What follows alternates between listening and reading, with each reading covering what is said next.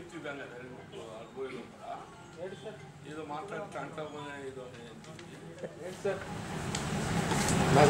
ఇప్పుడు ప్రధానంగా తెలంగాణ రాష్ట్ర ఏర్పాటు ఉద్యమమే ఇలా నిధులు నీళ్ళు నియామకాలు ఏ విధంగా ఉమ్మడి రాష్ట్రంలో తెలంగాణ ప్రాంతం వివక్ష గురవుతుంది తెలంగాణ రాష్ట్ర ఏర్పాటుతోని మన నిధులు మనకు మన నీళ్ళు మనకు మన నియామకాలు మనకు అనేటువంటి ఒక స్వయం పాలన నినాదంతో ఏదైతే తెలంగాణ రాష్ట్ర ఏర్పాటు ఉద్యమాన్ని చేపట్టబడడం జరిగిందో ఇప్పుడు తెలంగాణ రాష్ట్రం ఏర్పడ్డ ఈ ఏడు సంవత్సరాల కాలంలో ఇక్కడ ఏ విధంగా నిధులు దుర్వినియోగం అవుతున్నాయి నీళ్ళు ఏ విధంగా సీమాంధ్ర ప్రాంత నాయకులు అక్రమంగా కృష్ణా నదీ జలాలను దోపిడీ గురి చేస్తున్నారు. మనమైతే ప్రత్యక్షంగా గమనిస్తున్నాం. నియామకాలకు సంబంధించి కూడా రాష్ట్రం ఏర్పడ్డ నాడు స్వయంగా ముఖ్యమంత్రి కేసీఆర్ గారే శాసనసభ మొదటి సమావేశాలలో లక్ష ఏడు వేల ఉద్యోగాలు ఖాళీలు ఉన్నట్టు పేర్కొన్నారు. రాష్ట్రం ఏర్పడ్డ ఆరు సంవత్సరాల కాలంలో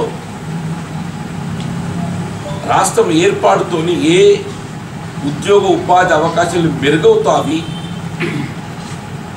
నిరుద్యోగ యువతకు ఉపాధి అవకాశాలు లభిస్తాయి అని భావించడం జరిగిందో వీళ్ళు గడిచిన ఆరు సంవత్సరాల కాలంలో లక్షా ఏడు వేలతో ఆరంభమైనటువంటి ఖాళీల సంఖ్య స్వయంగా బిస్వాల్ కమిటీ ఇలా ఏ పిఆర్సి పరిశీలన కొరకు కమిటీ వేయడం ఏ రివిజన్ కమిషన్ కొరకు కమిటీ వేయడం జరిగిందో దాని పరిశీలకులైనటువంటి Biswal committee December thirty first twenty twenty లక్ష తొంభై ఒక్క వేలు అధికారికంగా ప్రభుత్వ పరంగా గుర్తింపబడ్డటువంటి ఉద్యోగాలు ఖాళీలు ఉన్నాయని చెప్పని నివేదిక. ఇది అధికారిక నివేదిక. అంటే రాష్ట్రం ఏర్పడ్డ నాడు లక్ష ఏడు వేల ఉద్యోగాలతో ఏర్పడ్డ తెలంగాణ రాష్ట్రం. అది లక్ష తొంభై ఒక్క వేలు చేరుకు.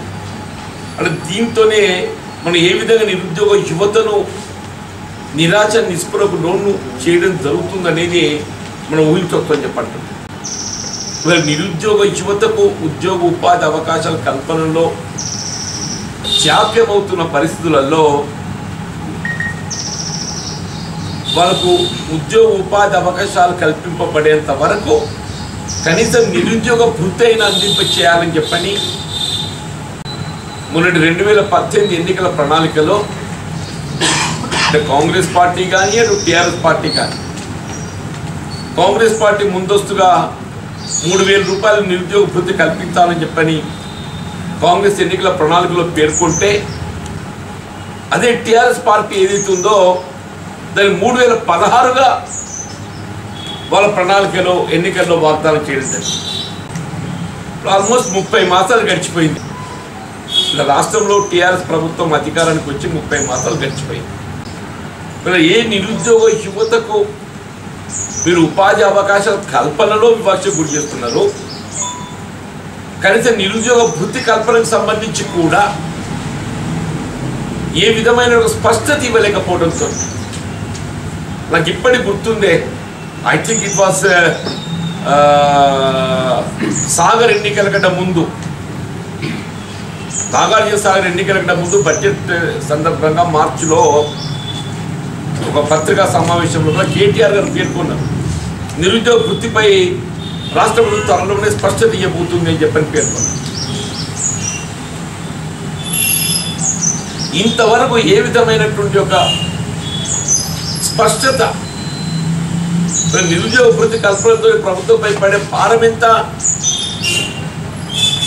మన దాదాపుగా ముప్పై లక్షల మంది నిరుద్యోగ యువత ఉండి ఉంటారని భావిస్తాను. ఒక ముప్పై లక్షలు ఉండి ఉంటారని భావిస్తాను. మూడు వేలు. తొమ్మిది వందల కోట్లు. ముప్పై లక్షలు అంటే మూడు వేలు తొమ్మిది వందల కోట్లు. తొమ్మిది వందల కోట్లు అంటే పన్నెండు మాసాలకు పన్నెండు తొమ్మిది నూట ఎనిమిది. సరాసరి దాదాపు ఒక పదివేల కోట్ల ఆర్థిక భారం పడుతుంది. మొత్తం రాష్ట్రంలోని నిరుద్యోగ యువతకు అందరికీ ఇవాళ మీరు పేర్కొన్న ప్రకటింపబడ్డటువంటి ఒక మూడు వేల పదహారు నిరుద్యోగ వృత్తి కల్పిస్తే ప్రభుత్వంపై పడబోయేటువంటి ఆర్థిక భారం దాదాపు పదివేల కోట్ల భారం ఉంటుంది అని చెప్పండి. ఇవాళ ఏ నిరుద్యోగ యువత ఆత్మత్యాగాలు బలిదానాలతో సాధింపబడ్డటువంటి ఒక తెలంగాణ రాష్ట్రం ఇవాళ మీకైతే కొలువులు తెచ్చిపెట్టింది. ఇవాళ మీకైతే కొలువులు తెచ్చిపెట్టింది. మీ ఇంట్లో నలుగురు ఉంటే నలుగురు కొలువులు వచ్చినాయి. ఇలా నిరుద్యోగ యువతకు ఏదైతుందో అధికారికంగా గుర్తింపబడ్డట్టు ఒక ఖాళీల భర్తీకి మీరు చర్యలు చేపట్టడం లోపల నిర్మాణాత్మకంగా వ్యవహరించడం లేదు.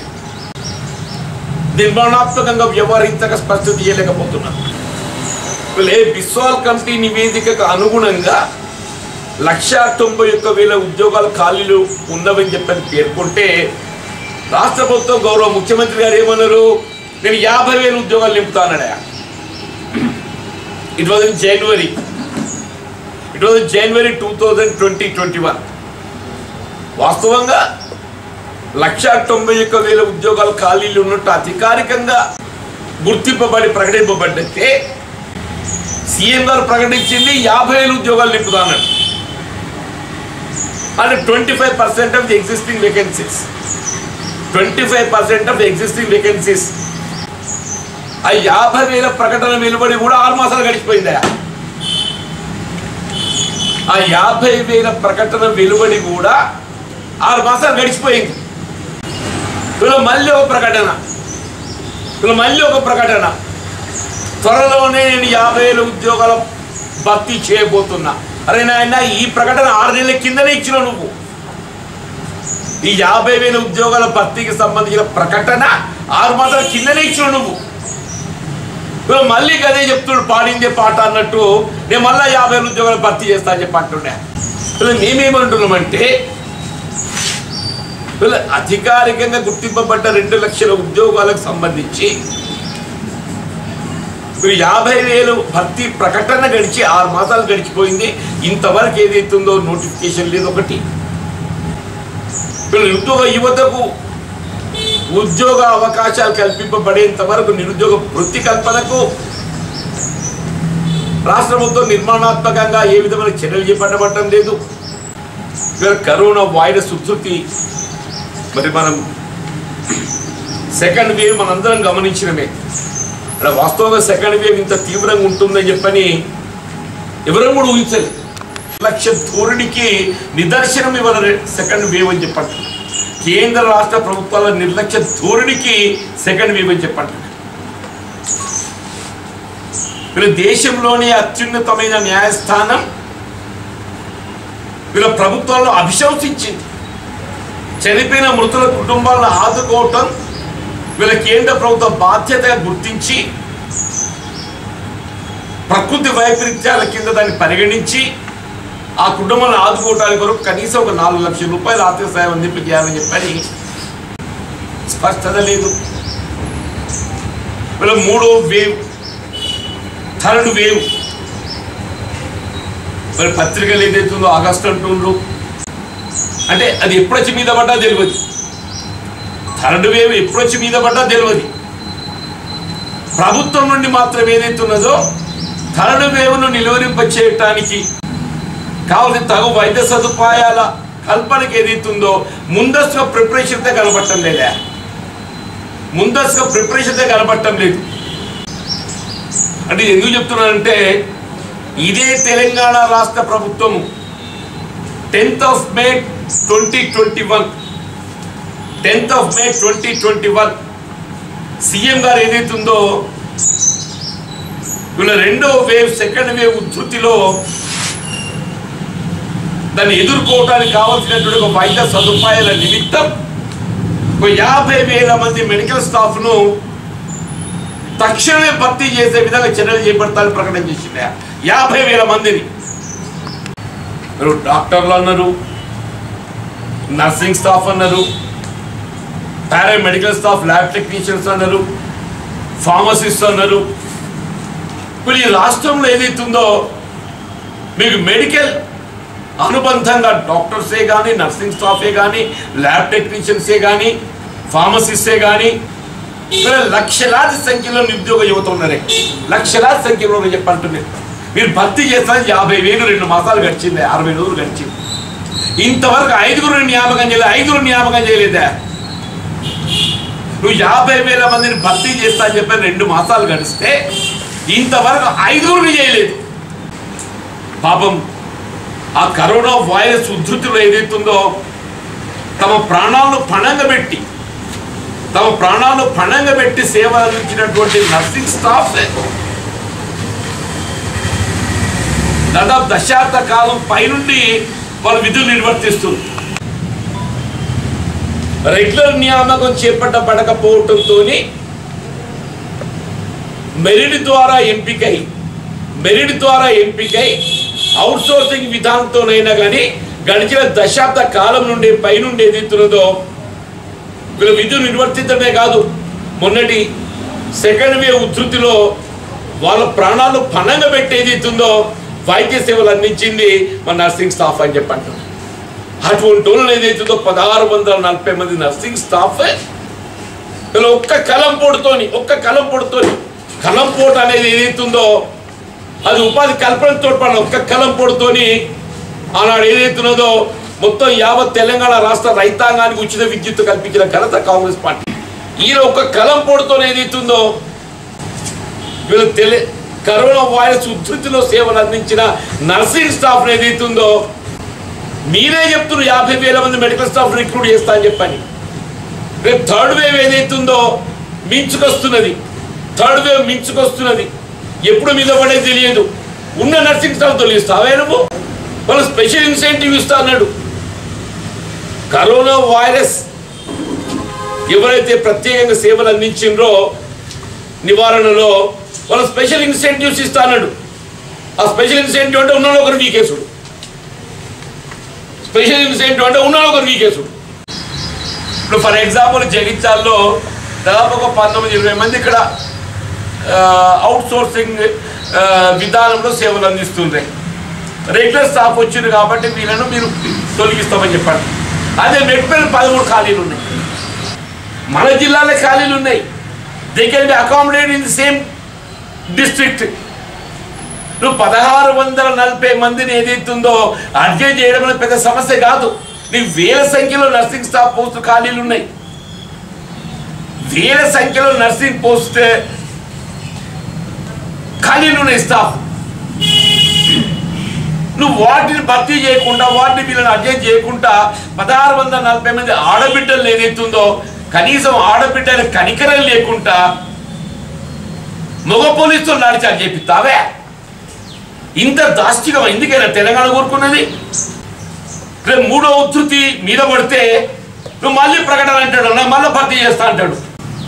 అంటే ప్రభుత్వ ఆలోచన విధానం ఏదైతుందో ఎంత లోప భూయిష్టంగా ఉంది దయచేసి గమనించండి అని చెప్పి అంటున్నా. ఎంత లోప భూయిష్టంగా ఉందో గమనించండి అని చెప్పి అంటున్నా. ఆర్భాటంగా వైరాలజీ డయాగ్నోస్టిక్ సెంటర్ అని చెప్పి నాపేట్ చేసిండే. మొత్తం జిల్లా కేంద్రాలలో ఎక్కడ ఏపీఎస్సీలో రక్త నమూనాలు సేకరించినా కానీ ఆ జిల్లా కేంద్రంలో వైరాలజీ టెస్టులు యాభై రకాలు చేస్తామని చెప్పిండే. మరి ఆల్రెడీ ల్యాబ్ టెక్నీషియన్ కావాలి కదా? నువ్వు నూతనంగా వైరాలజీ డయాగ్నోస్టిక్ సెంటర్స్ ఓపెన్ చేస్తున్నామని చెప్పంటే వాళ్ళకి దగ్గర ల్యాబ్ టెక్నీషియన్స్ కావాలి కదా? ఇవాళ ల్యాబ్ టెక్నీషియన్ భర్తీ చేయలేక మన జగిత్యాల ఉదాహరణ వైరాలజీ సెంటర్ మూతపడి ఉంది బోర్డు ఇక్కడ లేవా అది? బోర్డు. ఇగో ఇప్పుడు పోయి చూడండి తప్పుడు మూసి. మీరు ఆర్భాటానికి జిల్లా కేంద్రాలలో ఏదైతుందో వైరాలజీ డయాగ్నోస్టిక్ సెంటర్స్ ఎక్కడ లేని విధంగా. అరే బోర్డు పెట్టేది సరిపోదు కాదు సరిపోదు నాయన. అది భర్తీ చేయి నలుగురు నవ్వురు దొరుకుతాయి. ఇప్పుడు ల్యాబ్ టెక్నీషియన్ భర్తీ చేయలేకపోవడంతో ఈ వైరాలజీ డయాగ్నోస్టిక్ సెంటర్స్ ఏది కూడా ఇంకో అంటే ఎంత లోపపు ఇష్టంగా ఉండేది దయచేసి గమనించే ప్రభుత్వ ఆలోచన విధానం. వీళ్ళు దయచేసి ఏదైతుందో వీళ్ళు కేవలం ప్రభుత్వ ఆలోచన విధానం అనేది ఎన్నికలకి పరిమితం కాకుండా. సరే ఎన్నికలు వస్తుంటే పోతుంటే ఎవరు గెలుస్తారు ఎవరు ఓడుతారు అనే సమస్య ప్రధానం కాదు ఇక్కడ. వీళ్ళు ఏ ఉద్యమ ఆకాంక్షలతో ఏదైతుందో తెలంగాణ రాష్ట్ర ఏర్పాటును వీళ్ళు సాధించుకోవడం జరిగిందో ఏ ఆత్మ త్యాగాలు బలిదానాలతో సాధించుకోవడం జరిగిందో ఆ ఆకా ఉద్యమ ఆకాంక్షలు నెరవేర్చబట్టడానికి ఆ నిరుద్యోగ యువతకు ఉపాధి అవకాశాలు కల్పన ప్రధానమని చెప్పండి. యాభై వేలు ఉద్యోగాలు భర్తీ అంటున్నాను కదా? All right. నేను యాభై వేల ఉద్యోగాలు ఆరు మాసాలలో భర్తీ చేస్తాను ఇంకా లక్షన్నర ఉద్యోగాలు ఉంటాయి? యాజ్ షెడ్యూల్ వచ్చే సంవత్సరం లక్ష చేస్తా. యాభై వేలు మళ్ళీ ఆరు నెలల లోపల చేస్తా.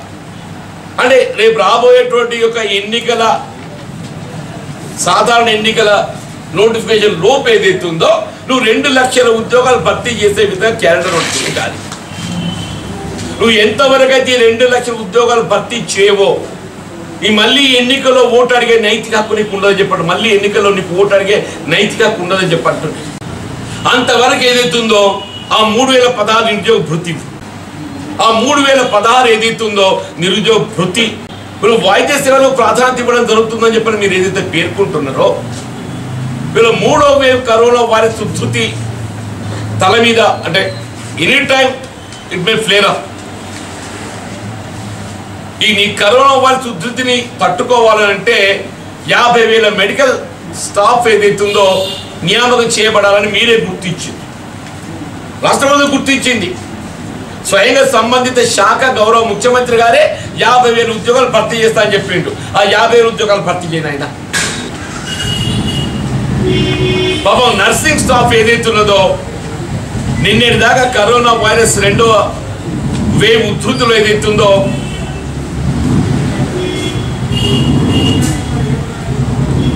ప్రాణాలకు తెగించి మానవ సేవే మాధవ సేవ అనే దృక్పథంతో మానవ సేవే మాధవ సేవ అనే దృక్పథంతో ఆడబిడ్డల ఉసురు పోసుకున్నాడు ఎవ్వడు కూడా బాగుపడలేదు. తప్పకుండా అలా పాపం నీకు కొట్టుద్ది. ఆడబిడ్డలు ఉసురు పోసుకున్నాడు ఎవ్వడు కూడా బాగుపడలేదు నువ్వు కూడా బాగుపడవు.